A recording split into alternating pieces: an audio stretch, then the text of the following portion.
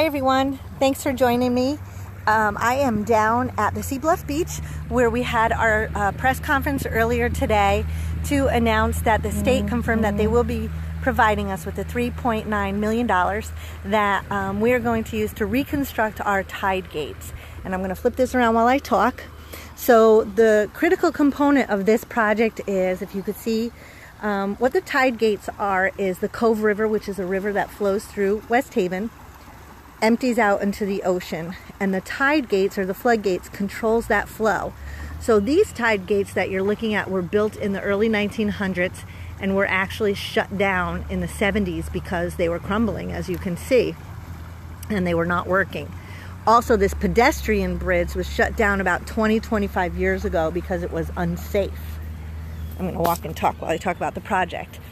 So um, so this project, so the tide gates are going to be self-regulated tide gates. These are going to be removed, the tide gates that we have now, and rebuilt. So what it's going to allow us to do is um, regulate the flow of water almost to the inch. So what happens is when there is a great storm and there's a high tide, the water is flowing into the city faster than it's flowing out. And that's what causes all of the um, flooding along, along the Cove River. So that's Platt Avenue, that's behind Stiles or in front of Stiles. That's also our high school. We're building a brand new high school for a lot of money and it's uh, in jeopardy of a flood zone. And I'm going to flip this around so you can see the newer floodgates while I talk. Um, so this project is a part of our coastal resiliency plan all cities that are on the shoreline have developed a, co- a coastal resiliency plan to address the rising sea level. And um, West Haven is being very proactive in not only reconstructing the tide gates, but we're going to elevate them 8 to 10 feet. So if you can see, those are the newer, if you want to call them newer, tide gates. Uh, they're wooden, they're old, and they're really not functioning as well as we would like them to function. So this is going to be a new infrastructure for our flow of water, but also it's going to have some really great environmental and ecological value because across Ocean Avenue, so this is Ocean Avenue, across Ocean Avenue where the marshes are, where the high school is, um, it, it, it just hasn't had the great, the right vegetation, the right sea life, and the right um, birds and plants because it doesn't have the right level of seawater um, and it doesn't have the right timing of the seawater. So this is going to help with all of that. Um, and then the icing on the cake is that there's going to be a brand new pedestrian bridge that's going to be built and it's going to connect this area, which is where the Charlotte um, Bacon Playground is, over to the Veterans Memorial.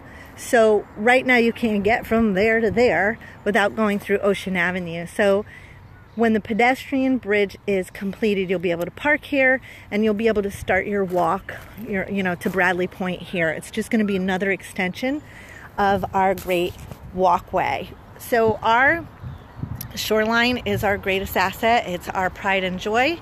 And this is just going to be another way to um, extend our recreational value, not only for our residents, but for the thousands of residents in the region that come here.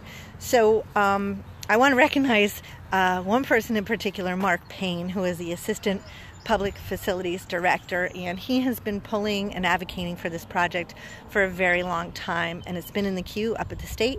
Um, and myself and my fellow legislators, we uh, just kind of pushed it over the edge by requesting the funding, which is key. So I want to thank him for his knowledge and working with the consultants and um, coming up with the conceptual design. It's going to be really critical.